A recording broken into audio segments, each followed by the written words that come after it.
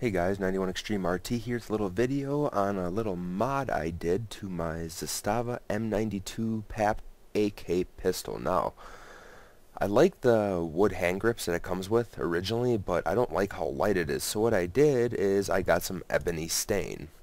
Um, this ebony stain here, uh, it's ebony 2718 from Walmart. It's the smallest can, half pint, uh, that I could find at Walmart. So it was like five, six bucks, and the brush was like 75 cents, uh, the foam brush. So um, you don't even need this much, but that's the smallest can I could get. So uh, that's what I did, and uh, I put like six or seven different coats on here. Um, and at the fourth coat, I actually baked it. I put it in the oven at 400 degrees. I put it in right away, then I turned it up to 400. As soon as it got to uh, just before 400 I turned it off and took it out and I rebrushed it again uh, because um, heating it up it opens up the pores a little more it expands it so it can soak in a little better. And uh, that's what it looked like when it was done. Um, it almost looks like a plastic uh, well it looks shiny because it's wet but the color was so thick and black it almost looked like a plastic. Um, but after letting it sit for a couple days now, uh, about two, three, three, four days, something like that, two, three days, um, just let it hang on the wall.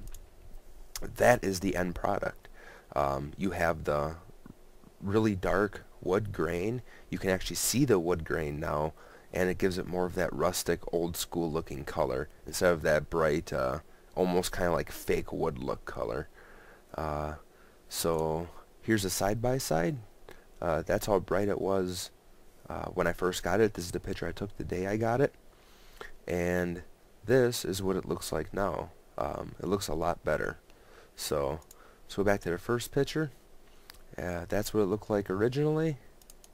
And that's what it looks like now. So, I really like it. I enjoyed it. It took, uh, took a few days for the stain to really soak in, but it turned out exactly the way I wanted it and gave it a nice dark old uh, wood colors. So um, if you're thinking about doing this, it costs about six and a half dollars, and uh, to actually stain it, you're gonna want to stain it, uh, put a coat on like once every three or four hours, uh, like four or five different times until it completely soaks in. Now, I didn't sand it at all uh, before I did it because uh, I really didn't need to because the it was brand new wood. There was no coating on it. There was no nothing. It was just open grain wood. So uh, I didn't need to sand it, and I just applied it on, let it sit a few days, let it hang, and uh, that's how it turned out. So, all right. So for about six and a half dollars, you got a really, in my opinion, better looking uh, hand grips for your